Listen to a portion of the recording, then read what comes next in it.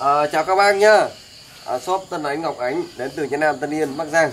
Gửi đến chào toàn thể các bác trong hội nuôi ong lấy mật Việt Nam nhá. Hôm nay giới thiệu với các bác một cái sản phẩm mới. Đó là cái lưới chắn chúa nhá lưới ngăn chúa. Lưới bằng nhựa có tác dụng là ngăn chúa này.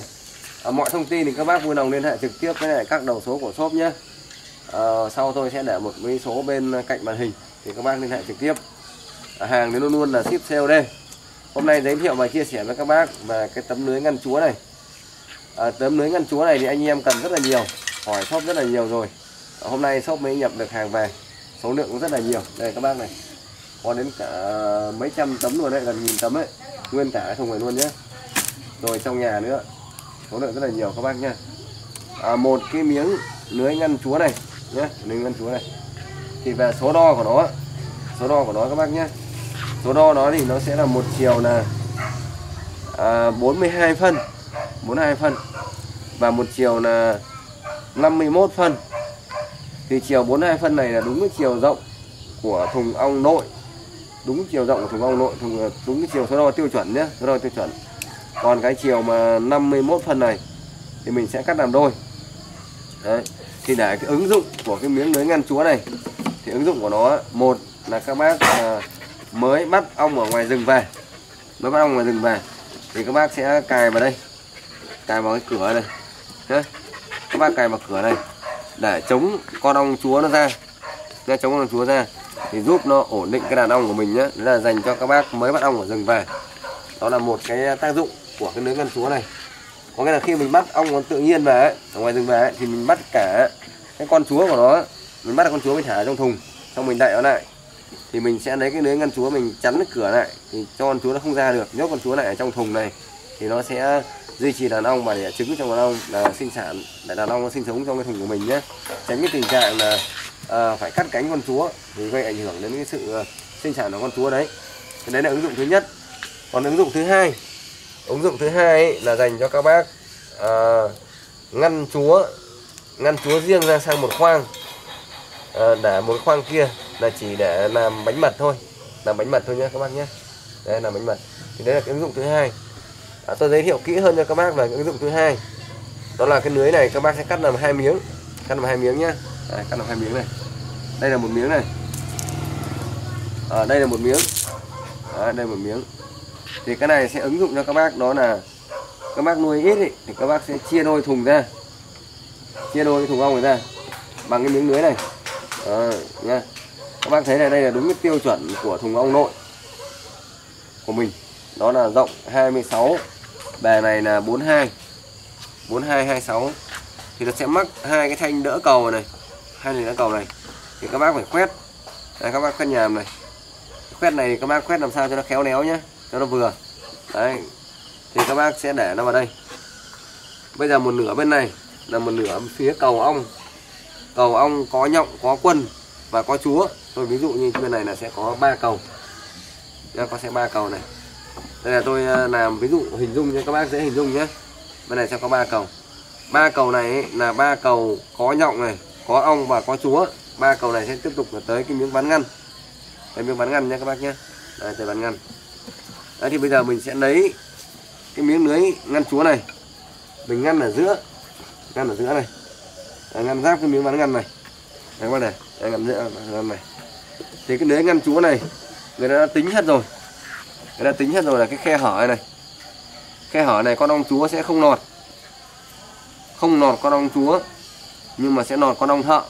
Nọt con ong thợ. Đấy. Thì khi mình cái phía bên này này phía bên ba cầu này số lượng quân nó đông lên. Nó đông lên nó nhu cầu xây thêm cầu. Thì các bác chắn cái lưới chúa này đây. Xong các bác nao thêm cầu. Các bác nao thêm cầu sang cái khoang bên này rồi ví dụ như các bác nào thêm hai cầu nữa. Nao thêm hai cầu nữa trong khoang bên này. Cái cầu nào này là cầu mà các bác à, hàn chân tầng à, mới vào nhé căng dây thép hàn chân tầng vào. Các bác thả vào đây. Thì bắt đầu, ong thợ ở bên khoang bên này là nó chặt chỗ rồi. Nó có nhu cầu xây thêm. Thì nó sẽ chui qua cái miếng ngăn này này. Đấy, nó chui qua cái miếng ngăn này. Chui qua miếng ngăn này và nó sang cái khoang này để nó xây.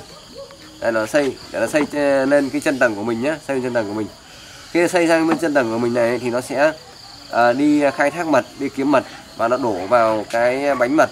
Mình gọi là cái bánh mật. Thì bên này ấy, là toàn bộ ong thợ sẽ đổ bánh mật vào. Ong chúa không sang được. Nên ong chúa không sang được là sẽ không đẻ trứng vào các uh, uh, bánh mật bên này được không đẻ trứng bên này được. Thì nghĩa là cầu bên này là sẽ không có không có trứng không có trùng không có nhộng. Đấy là cầu bên này là chỉ để gọi là làm bánh mật không làm bánh mật không để giúp các bác khai thác bánh mật không thôi bên này là chủ yếu là ông thợ. Ông thợ khai thác mật và cho vào đây và đóng bít nắp lại để thành cái bánh mật không? Không có nhộng. Có là ông chúa không sang bên này được không đẻ trứng bên này được. Thế còn bên này thì ông chúa vẫn đẻ trứng và sinh sản bình thường hoạt động bình thường ở phía bên khoang bên ba cầu bên này này. Nhá ba cầu bên này. Thì đây là ứng dụng cho các bác uh, uh, nuôi nhỏ trong một thùng. Trong một thùng này các bác có thể xen lấy một cầu hoặc hai cầu là các bác chuyên lấy chuyên lấy mật không thôi đấy, chuyên làm bánh mật không ở cái cầu này thôi. Đấy là tùy vào cái số lượng quân của trong cái thùng ong này. Có thể là có hai cầu ba cầu hoặc bốn cầu.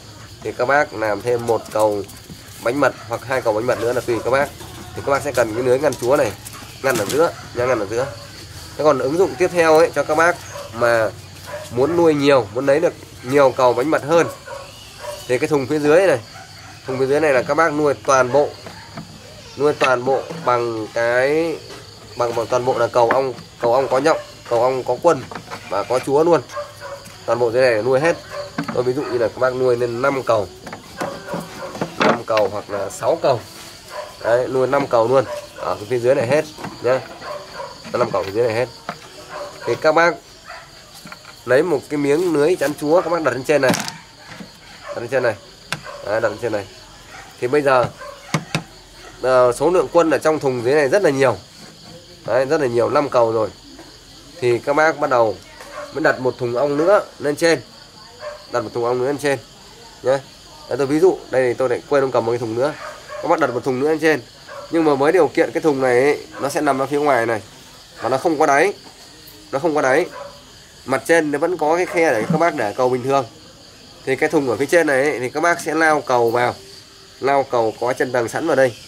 Thì ong thợ từ dưới thùng dưới này đã đủ vị trí, đã chặt vị trí rồi, sẽ tràn lên trên này, tràn lên cái thùng trên này, và nó sẽ xây vào những cái chân tầng của các bác để sẵn đấy, và nó sẽ đổ à, khai thác mật và đổ vào đây. Để các bác sẽ làm được những cái bánh mật, những cái cầu mà chứa bánh mật riêng ở phía trên này. Đó là dùng cho các bác nuôi thật nhiều. Còn các bác nuôi ít thì các bác sẽ chia đôi một thùng ra còn nuôi nhiều thì chắn mặt trên này này, chắn mặt trên này.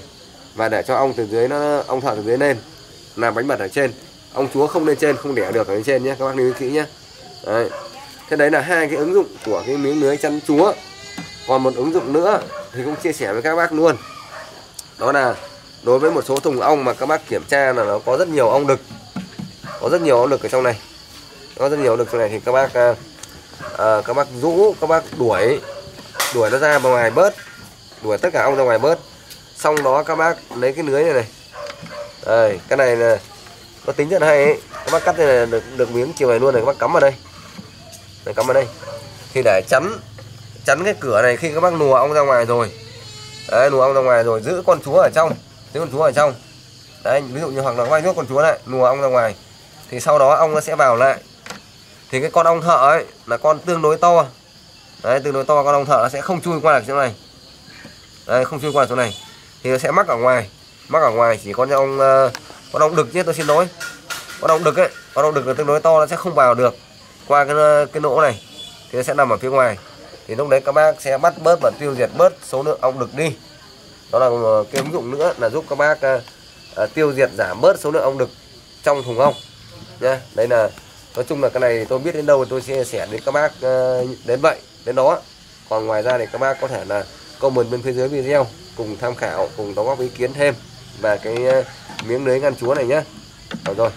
À, hàng thì ship COD đi toàn quốc nhé các bác nhé Đấy, các bác có uh, nhu cầu các bác cái trao đổi trực tiếp đến shop nhé Đấy, xin cảm ơn các bác. Hẹn gặp lại các bác trong cái uh, clip sau nha các bác nhé còn về các bác alo trực tiếp nhé à, hàng thì ship COD đi toàn quốc các bác alo trực tiếp để trao đổi với shop. Rồi xin cảm ơn các bác. Hẹn gặp lại các bác trong clip sau nhé